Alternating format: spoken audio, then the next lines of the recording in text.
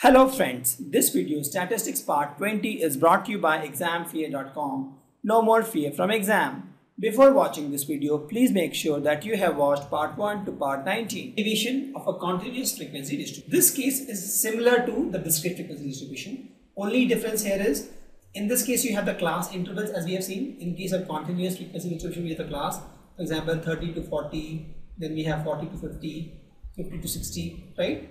So what we'll do, instead of this class we'll take xi as the midpoints of this 30 to 40 32 plus 40 by 2 35 40 plus 50 by 2 45 50 plus 60 by 2 655 so like this we'll take the midpoints.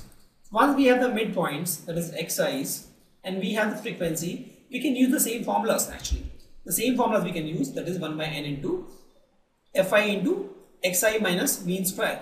That is root mean square deviation you get deviation you square it you get the mean you find the root. Where n is nothing but you add the frequencies sigma fi and mean is nothing but sigma fi xi by fi. And xi we get from this class. We take the mean of this class upper limit and lower limit. And then it, it becomes same as discrete frequency. No difference. Here we have to find variance and standard deviation. The first thing we have to do here is to find mean because without mean we can't do anything. The first thing we'll do is to find mean. And the mean formula we know is nothing but sigma fi xi sigma fi xi by n. So we have to find fi xi in n. So let's first draw this graph table. This class class is 30 40 then you have 40 50 next is 50 60 and then you have 60 70 and then you have 70 80 and 80 90 and 90 100 this is the class we have the frequency is given 3 7 12 15 8 3 2 this is the frequency that is given now we have the frequency and we have the class. We don't have xi. To find xi, what we have to do? We will take the mean of the lower limit and upper limit of the class. 30 plus 40 by 2, 35. Similarly, 40 plus 50 by 2 is 45. 50 plus 60 by 2, 55. 60 plus 70 by 2, 65. 70 plus 80 by 2, 75. And 80 plus 90 by 2 is 85. And 90 plus 100 by 2 is 95. So we have got xi fi. We have to find summation of xi fi. So we have to multiply this two. So what we'll get is fi xi. Multi multiply this 3 into 35 that becomes 105.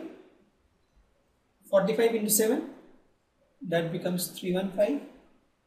12 into 55 that becomes 660. 50 into 65 this becomes 975. 8 into 75 that becomes 600 and 3 into 85 this becomes 255 and 2 into 95 becomes 190 what we have done we just multiply this 3 into 35 105 7 into 45 this. 12 into 55 660 50 into 65 is 975 875 8 into 75 is 600 3 into 85 is 255 and 2 into 95 is 190 we have to find sigma fi xi so let's add this 5 plus 5 10 20 0 2 carry. 2 1 3 3 6 9 9 plus 7 16 plus 5 21 plus 9 30 3 carry. 3 1 4 4 3 7 7 and 6 13 13 and 9 22 28 28 30 31 so this is 3 1 0 0 to find n, we'll add all this frequency. 7 plus 3, 10. 10 plus 12 is 22. Plus 15, 37. 37 plus 8, 45. And 5, 50. So n is also 50. Correct? So we have sigma fi xi and sigma, we have sigma fi. That is n. This is n. n is equal to. So we can find the value of mean. So mean is nothing but summation of fi xi by n where i is equal to i is equal to 1 to n actually right? So so this is nothing but 3100 by 50 and this value comes out to be 62 so we have mean is equal to 62 so half battle is won. We have the value of mean. Now what we have to do we have to find the deviation of xi with mean and we have to find the square.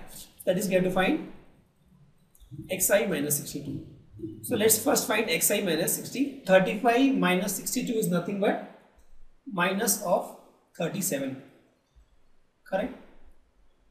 45 minus 62 is nothing but minus 27 what I am doing is this value I am subtracting minus 62 from this value. 62 sorry from this value 55 minus 62 is nothing but minus 17 65 minus 62 is nothing but 65 sorry 65 minus 62 65 minus 62 is nothing but 3 75 minus 62 is 13 85 minus 62 is 23 and 95 minus 62 is 33 the next step is we have to find the square of this that is xi minus mean that is 62 square. 37 square is nothing but 729 27 square is nothing but 289 17 square is nothing but there's a miscalculation here please. 35 minus 62 is 27 this is 17 and this is 07 there's a mistake on my part. Calculation mistake. Correct 27 square is 729 17 square is 289 7 square is 49 3 square is 9 13 square is 169 23 square is 529 and 33 square is 1089 right? See xi minus 62 35 minus 62 is minus 27 45 minus 62 is minus 17 55 minus 62 is minus 7 is 0 7 and 65 minus 62 is 3 so we have got the value of xi minus x square. Let's add this. 9 9 18 18 plus 9 is all 9 only. 9 1 2 3 4 5 6 7 right? Now let's find the value of fi into xi minus x mean square. Why? Because the formula of uh, deviation which we have is mean deviation. Is nothing but 1 by n into sigma fi xi minus x mod square. That is nothing but variance. Correct? Variance. Variance is equal to this much. So let's find this value first. We'll multiply the star mark with this star mark. What will get 3 into 729 that will um, will get 2187 7 into 289 what will get? 2023 right 12 into 49 yeah 12 into 49 what will get 588 15 into 9 what will get 135 and 8 into 169 what will get is 1587 sorry 8 into 69 8 9 is 72 2 7 8 into 6 48 48 plus 7 15 5 8 1 8 8 plus 5 13 1 3 5 2 sorry. And 3 into 529 is nothing but 1587 very simple. 3 into 529 9 3 27 3 into 6 8 5 3 15 2 into 1089 is nothing but just multiply by 2 9 into 18 8 to 16 17 and 21 this is the values we got. We'll add these values what will get 7 into 3 10 18 plus 5 23 23 plus 2 25 plus 7 32 plus 0 8 40 0 4 4 is carry here.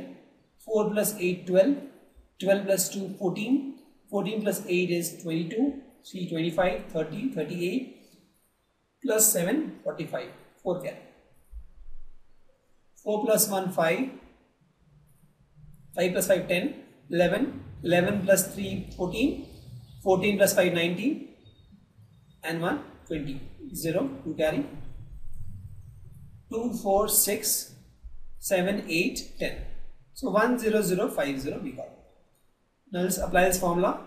Variance is equal to 1 by n into sigma fi into xi minus mean square. That is n is 1 by uh, n is 50. So this becomes 1 by 50 into 1,